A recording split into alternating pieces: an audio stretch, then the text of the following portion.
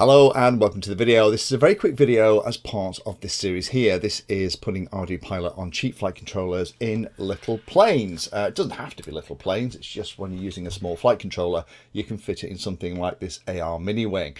Now, this has had its maiden flight, so if you're interested in watching that, you can go and look at the previous video. But I'm sat here a couple of days after that maiden flight and just playing around and tweaking things, ready to go and film the auto tuning video and one of the things that I did in the past with APM and Pixhawk is you can download the log files.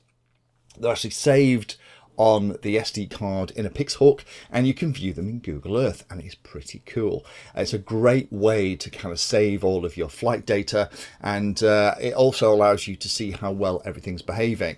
Now I didn't know whether this was going to work on this model because this is my first time through with ArduPilot on an omnibus like this so I've just tried it and it works. So I thought it was useful, I think, to put a little video together to show you how to access the log files, download them, and then view them in Google Earth. I'm going to go through this at quite a pace, but by following along, you should be able to find each of the steps. But being able to view stuff in Google Earth and see exactly how the plane has performed is fab. So let's go on the computer and I'll show you how to do it. So here we are in ArduPilot. We haven't plugged the uh, ArduPlane in yet, so let me just do that. I haven't got my radio turned on, so you're going to hear all the beeping from the uh, buzzer.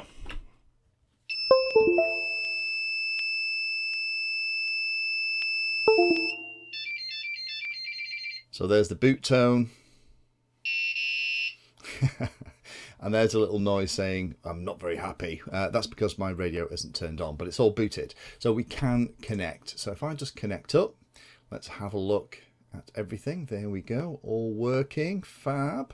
Uh, no RC receiver, yes, we know about that, that's fine. So we want to go into these two parts get rid of that. Uh, telemetry logs and data flash logs. Uh, we're going to download the data flash log via Mavlink and that's going to uh, give us a list of files. Now, because we've only had one maiden flight, these were all the arming checks I'd done. This is the actual flight. So what we're going to do is say download selected logs, click on that and it's going to download it. Now obviously the amount of time it takes to download is going to depend very much on how long the flight was because as this thing's actually flying it's saving all the information down to the SD card. Now that not only includes all of the settings and things like the positions of the accelerometers and the compass bearing and the height and the GPS stats and the HDOP. So this is a great way, if you're having a problem with a craft, you can come back in here and you can do an awful lot with the logs inside Mission Planner. You can graph everything out and it is a great tool to make sure that everything's working. But let me just fast forward to the end of this little bit and let me just show you how you get hold of the data logs and what you can do with them in Google Earth. Now that's just finished, what I would probably recommend is um, take a note of where it's actually saved it. Uh, so it's gone into users, lead, document, mission planner, logs, fixed wing. Uh, you'll find that when it's downloading, it goes into the uh, the mission planner logs file and then when it seems to be downloaded it pops it into the fixed wing directory so if you go in there and you can't find it you'll uh, that's where you need to be. We'll have a look at that in a sec.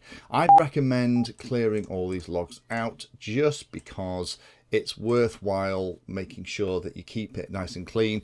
Um, it's always fun when you get back and there's 32 log files on the SD card. Uh, they are dated, uh, but trying to find the one for the particular flight that you did on maybe a day can be a little bit exciting.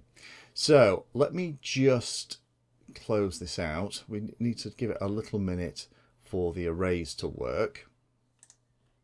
But what we'll do is we'll just um, have a look at this. Now, we can do, like I said, we can do loads of things. And going into terminal, you can actually um, play with the log browse and do loads of stuff, but we're not going to bother with any of that. What we're actually going to do is let me just open and show you where the log files are.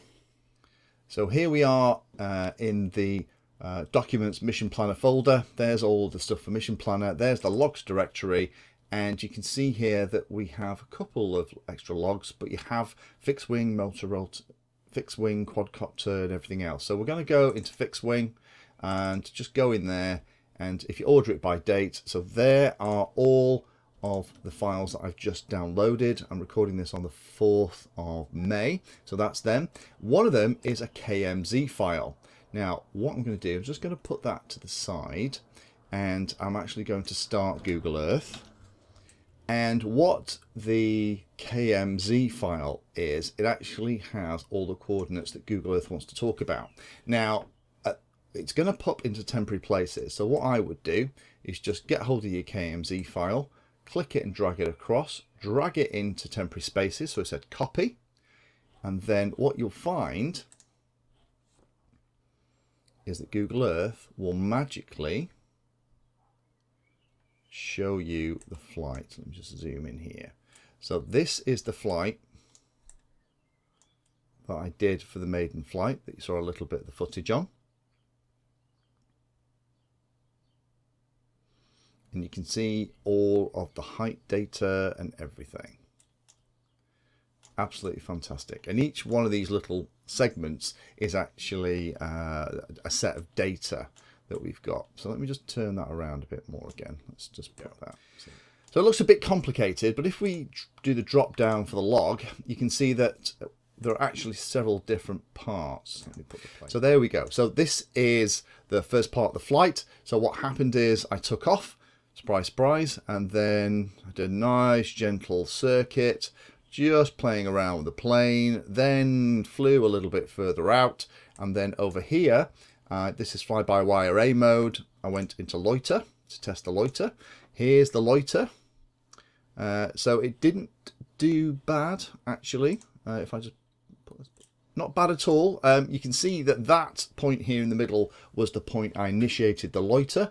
And if we get an idea of how wide that loiter is, it's about 200 feet ish. Um, I, I, bet if we go and check that in uh, the mission planner settings, that's roughly what it will be. But you can see here that it did a really nice job of prescribing a pretty good circle. Uh, heights varying a little bit, so we, probably have to look at that as part of the tuning, make sure that that um, sorts it out.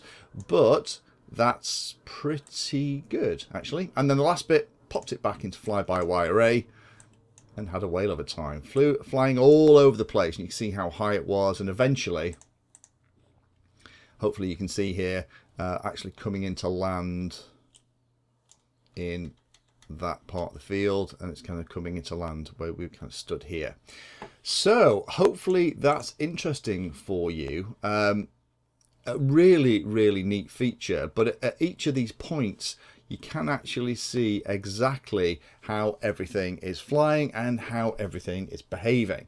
So that's how you do it. Dead easy, just download the log files using Mission Planner and then you can kind of upload them into Google Earth and you can see exactly how everything was flying. Thanks for watching the video and watching right to the very end. You can find me in all the usual places on social media and if you like the video and like what I'm doing here then hit the subscribe button and hit the bell notification icon too. If you really like what I'm doing you can go the extra mile and become one of my Patreons for access to me directly for support and also giveaways and regular updates too. If you're looking for particular content, then check out the playlist. I organize all of my videos into playlists, so if you're looking for a particular topic, you can find everything here. If it's called Introduction to, it's designed to start very simply and build on that simple introduction to teach you all about it. If it's called For Beginners, then that is really aimed at people who are brand new to that part of the hobby. You can also search on YouTube for anything that you're interested in using the search function at the top. So iNav Painless 360 will find all of my videos and even the playlist around iNav. So thanks again for watching and happy flying.